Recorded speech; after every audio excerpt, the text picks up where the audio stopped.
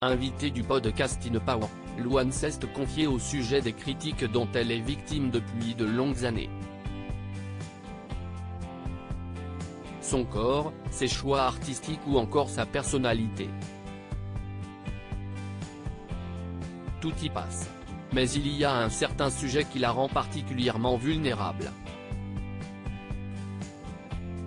Louane est malheureusement une habituée des critiques.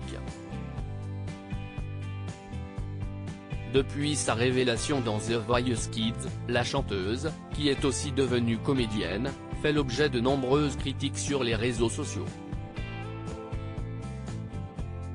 Invitée de Louise Aubéry, sur son podcast In Power, celle qui a remporté un César du meilleur espoir féminin pour son rôle dans le film La famille Bélier a évoqué cette tendance à la haine dont elle est la cible.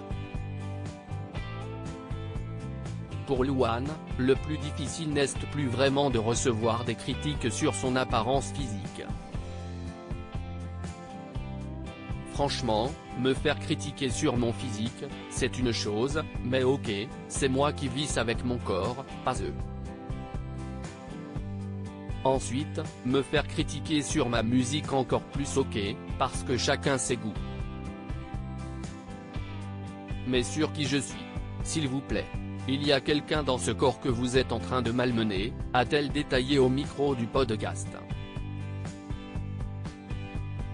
Ces critiques ont pu avoir une lourde répercussion sur ses démarches artistiques. En effet, Luan a parfois hésité à se lancer dans des projets par peur des critiques, du coup, j'ai déjà été réticente à faire des choses parce que je savais que j'avais envie de le faire de façon naturelle et que j'allais me faire exploser, ça m'est arrivé mille fois. Luan accepte de ne pas plaire à tout le monde désormais, Luan tente d'apprendre à vivre avec ses critiques. Si est hyper douloureux? En vrai, les fois dans ma vie où j'ai eu le plus de mal à passer au-dessus d'un commentaire, ce n'était pas sur mon corps, ce n'était pas sur ma musique, c'était quand on parlait de ma personnalité, a-t-elle rappelé.